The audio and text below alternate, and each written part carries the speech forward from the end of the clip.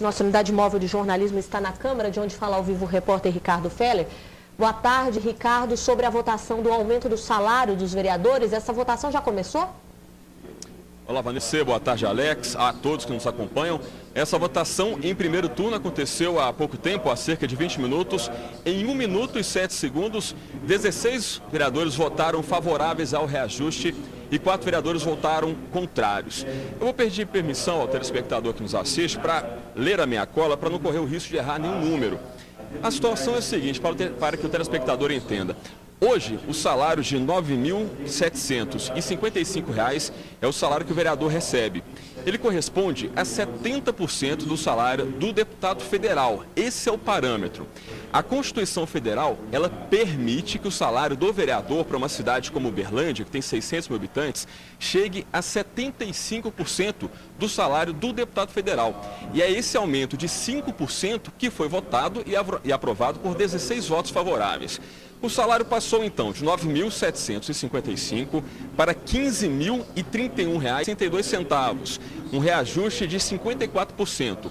Lembrando que esse valor só entra em vigor caso também passe em segundo turno, o que é provável que aconteça, no próximo mandato, a partir de 2013, de 2013 a 2016.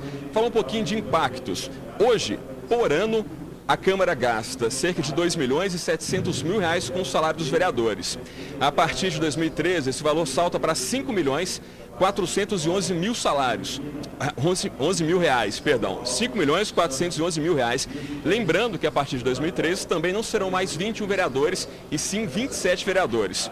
Ao todo, em todo o mandato, por exemplo, o atual mandato, o gasto com os vereadores é de cerca de 2 milhões 679 mil reais por ano, dá, dá 8 milhões de reais. Com, no próximo mandato, esse valor ele aumenta 10 milhões de reais. Vereador Roberto, Norberto Nunes, Norberto Nunes, perdão. O senhor votou por quê?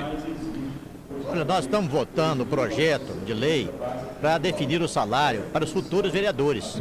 Isto será o salário dos vereadores de 2013 até 2016. Então nós votamos baseado no 75% do salário do deputado estadual. Então é importante frisar que nós estamos realmente é, votando no valor proporcional ao deputado estadual. Aqui, vereador, obrigado. O vereador professor Neivaldo do PT votou o contrário. Por quê, vereador? Nós consideramos que um aumento salarial de 54% para o próximo período seria um aumento abusivo. A oposição apresentou uma emenda onde nós propomos um reajuste salarial, mas um reajuste justo, que seria o mesmo que será dado ao funcionalismo público. Ok, vereador, obrigado. Só para citar quais foram então os vereadores que votaram contrários, foram quatro vereadores. Os vereadores Delfino Rodrigues, Provaldo aqui ao meu lado, Adriano Zago e Gilmar Prado. Eu volto com vocês aí no estúdio. Obrigada, Ricardo. E nós vamos continuar acompanhando. Nós podemos voltar ao vivo a qualquer momento com o repórter Ricardo Feller, direto da Câmara de Vereadores. É a fé que